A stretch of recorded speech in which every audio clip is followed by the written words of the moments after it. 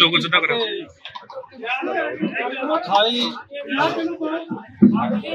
ਐਨੂੰ ਸਾਡੀ ਟੀਮ ਬਣੀ ਹੈ ਨਵੀਂ ਬਚਤ ਚਲਾ ਸੀ। ਕੁਝ ਮੈਂਬਰਾਂ ਦੀ ਮੰਗ ਹੋਈ ਕਿ ਚੋਣ ਕਰਾਈ ਜਾਏ। ਸਾਨੂੰ ਕੁਝ ਬੰਦੇ ਪਸੰਦ ਨਹੀਂ। ਉਸ ਕਾਰਨ ਚੋਣ ਹੋਈ। ਚੋਣ ਦੇ ਵਿੱਚ ਸਰਬਸੰਮਤੀ ਨਾਲ ਮੈਂ ਪ੍ਰਧਾਨ ਚੁਣਿਆ ਗਿਆ। ਪ੍ਰਧਾਨ ਚੁਣ ਤੋਂ ਬਾਅਦ ਨਿਊ ਜਿਹੜੀ ਨਿਕਲੀ ਗਈ ਦਾਦੂਵਾਲ ਸਾਹਿਬ ਨੂੰ ਅਸਾਂ ਧਰਮ ਪ੍ਰਚਾਰ ਦਾ ਵਿੰਗ ਸੌਂਪ ਦਿੱਤਾ। ਹੋਰ ਵਿੰਗ ਸਾਰੇ ਖਾਲਸਾ ਜੀ ਨੇ ਮੱਖਾ ਜੀ ਨੇ ਸਾਰਿਆਂ ਨੂੰ ਅਸੀਂ ਮਾਲਕ ਸਿੰਘ ਜੀ ਨੇ ਸਾਰਿਆਂ ਨੂੰ ਅੱਡੋ ਅੱਡ ਜ਼ਿੰਮੇਵਾਰੀਆਂ ਸੌਂਪੀਆਂ ਨੇ। ਅੱਜ ਸਾਰੇ ਮੈਂਬਰ ਸਾਹਿਬਾਨ ਧੰਨ ਗੁਰੂ ਰਾਮਦਾਸ ਪਾਤਸ਼ਾਹ ਦਾ ਸ਼ੁਕਰਾਨਾ ਕਰਨ ਆਏ ਆ ਕਿਉਂਕਿ ਸਭ ਤੋਂ ਪਹਿਲਾਂ ਅਸੀਂ ਆਪਣਾ ਕੰਮ ਫਿਰ ਸ਼ੁਰੂ ਕਰਾਂਗੇ। ਪਹਿਲਾਂ ਧੰਨ ਗੁਰੂ ਰਾਮਦਾਸ ਪਾਤਸ਼ਾਹ ਦਾ ਸ਼ੁਕਰਾਨਾ ਕਰਾਂਗੇ ਅਕਾਲ ਤਖਤ ਤੇ ਸ਼ੁਕਰਾਨਾ ਕਰਾਂਗੇ। ਫਿਰ ਅਸੀਂ ਜਾ ਕੇ ਆਪਣੀ ਜ਼ਿੰਮੇਵਾਰੀਆਂ ਸੰਭਾਲ ਕੇ ਕੰਮ ਕਰਾਂਗੇ।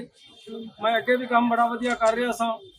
ਹੁਣ ਵੀ ਸਾਡੀ ਟੀਮ ਬੜੀ ਸੁਚੱਜੀ ਹੈ ਤੇ ਬੜੇ ਵਧੀਆ ਕੰਮ ਕਰਕੇ ਲੋਕਾਂ ਨੂੰ ਵਿਖਾਵਾਂਗੇ ਤੇ ਵਧੀਆ ਲੋਕਾਂ ਦੇ ਵਿੱਚ ਜਾ ਕੇ ਚੰਗੇ ਚੰਗੇ ਕੰਮ ਕਰਕੇ ਸਿੱਖੀ ਵਾਲੇ ਜਿਹੜੇ ਸਿੱਖਾਂ ਨੂੰ ਪਛਾਣ ਸਾਡੀ ਵਧੀਆ ਬਣੇ ਵਧੀਆ ਸਾਡੀ ਗੱਲ ਬਣੇ ਉਸ ਕਾਰਨ ਵਧੀਆ ਕੰਮ ਕਰਕੇ ਅਸੀਂ ਵਿਖਾਵਾਂਗੇ